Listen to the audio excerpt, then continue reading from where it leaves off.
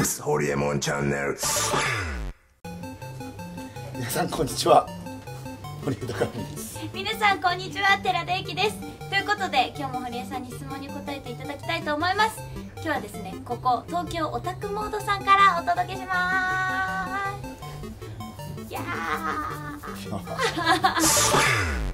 それでは今日の質問です堀江さんが出資されたというアンプルを拝見しました。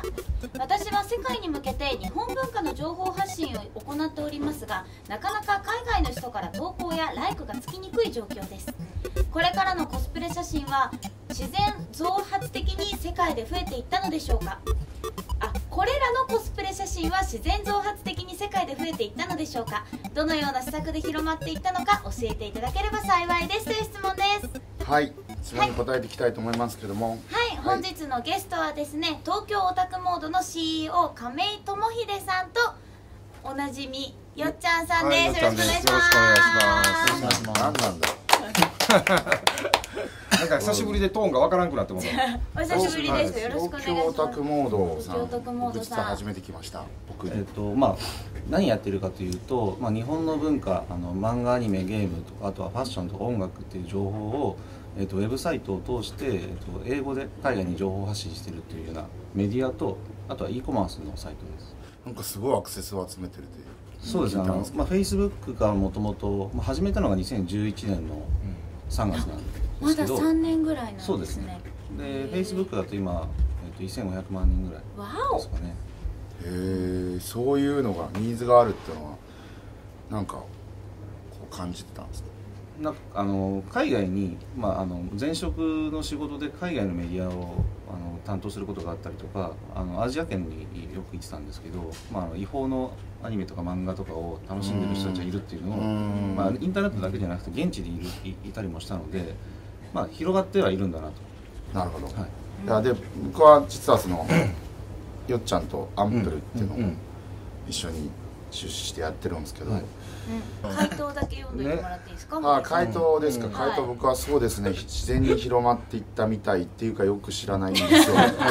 あれでも最初にあのかっこいい写真とかを誰かが入れてくれたりとかしたってこアンプルの場合、と、うん。アンプルの場合はそう最初にかっこいい写真を世界で出している人たちを探して、うん。で声掛けをして使っていいですかというところから始まって、んでまあそれをあの表に出してきて、まあ、こういう写真集めていきたいんですというメッセージを出して、でどんどんどんどん集めてオタクモードは最初どうやって広めたんですか、オタクモードはあのまあもともと Facebook だけで最初やろうとしてたので、あのフェイスブックページみたいな。そうです、Facebook ページだけでやろうとしていてその中に、まあ、5億人の人たちが、まあ、海外その当時5億人の人たちが遊んでいて日本300万人ぐらいしかなかったんですけど、うん。あのなんで、まあ、Facebook の中でメディアを立ち上げるっていうところででそこでやり始めたっていうのもあるんですけどあの、まあ、最初は東京オタクモードも多分アンプルも、うん。多分誰も知らない状態で始まってるので、うんあの全然見てくれないんですよ、うんなのでとりあえず記事とかそういった取材したものだけはの投稿してるんですけど、まあ、いろんな掲示板だったりとか、あと有名なブロガーさんに声をかけて、まあオタクモードっていうのやってるから紹介してくれませんかみたいな感じでやり始めたりあとは Facebook 上でアプリケーション作ってあの、まあ、遊んでもらったりってことを繰り返しながら。それでいけば東京オタクモードさんは結構地道なことを、まあ、当たり前に地道なことをずっとされてきたってことめちゃめちゃ地道ですよ。うん、でもそうですよね。あでそれと本質的に、まあ、いいクオリティの高い写真であったりとか、そういうものを選び出してってことですよね。なんであのまあなんですかね。人気があるさあの画像とかっていうのは、僕たちよく分かんなかったんで、まあ、ユーザーからの反応を見ながらあコスプレまあちょっとずつ変えてきたってことーですあのアンプルでも同じようなことやってきてるんですけどその同じようなことやろうとするとねスタッフであったりとかその周りの人たちがそんな地味なことしてどうすんのみたいなこととかってあって儲かんのとかみたいなことにすぐ直結したりとかして、で儲かるか儲からへんか分かんないけどとにかくあのいいものを丁寧に出し続けて届くまで届かしていくしかなくてみたいな話になってくるんだけど、まあね。結構すぐなんか答え欲しがったりする人たちはなかなか説明しづらいというか。じゃあまずは地道にやることが大事なんですかね。そう。です。地道に行きましょう。なんか裏技みたいなことを使ったわけじゃないでしょ、何も。そうですね。はい。そうです、うん。ということですよ。はい。ということで。はい。本日もありがとうございました。はい。え？